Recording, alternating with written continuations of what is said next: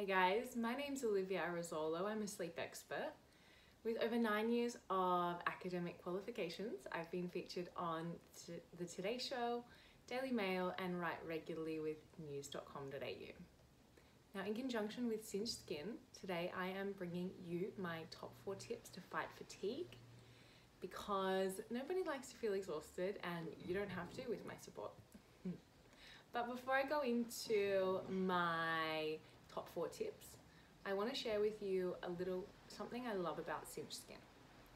So I travel a lot, like all the time, and even in COVID, I seem to have gone from Melbourne to Sydney to south coast of New South Wales. So, you know, travel's a big factor with me.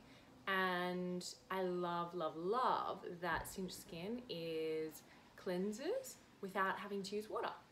Do you know how convenient this is? It's just like you're just out and about and you're like, okay, cool, I just jumped off a plane or I just got off got out of like a 12 hour car drive and you just freshen up and it feels really nice. So if you like that, the sound of that, then check out Cinch Skin. But now, top four tips for fighting fatigue. Now, as a sleep expert, I would be wrong not to tell you how to nap because that is one of the best tools up your sleeve. So you want to time it for 30 minutes keep the room dark. You want to wear an eye mask if possible and wear earplugs if you can. Um, making sure that you keep it to 30 minutes and no longer is critical because it prevents the body going into slow wave sleep.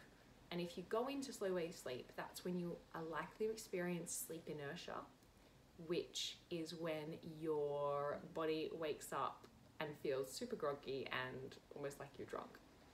So make sure it's 30 minutes, no longer.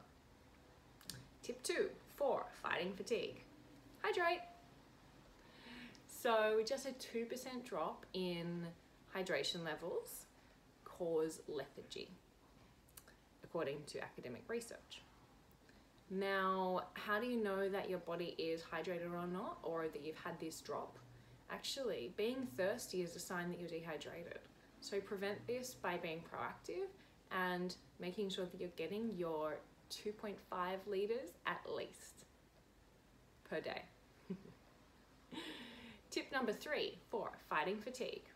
Now, we are going to go outside and embrace that sunshine because by doing so, you help your body produce a hormone called serotonin, which reacts with the light. And serotonin is great because it helps you feel alert and awake. Now, you also might know serotonin is the happiness hormone. So, yes, being in the light does help you feel happy as well. And tip number four of fighting fatigue make sure you're eating properly.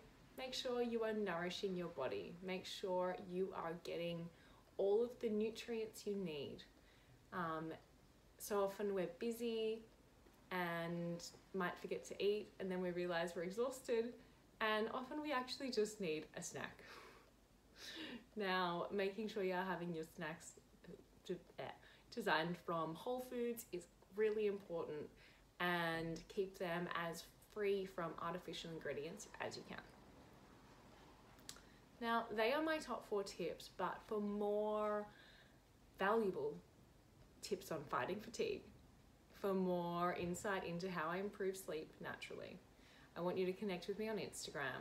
My name's Olivia Arezzolo, and you if you type in sleep expert, I'll come up. Now, I look forward to seeing you there, and even if I don't see you until tonight, for example, I hope you've enjoyed this video and trust you have. I will see you very soon.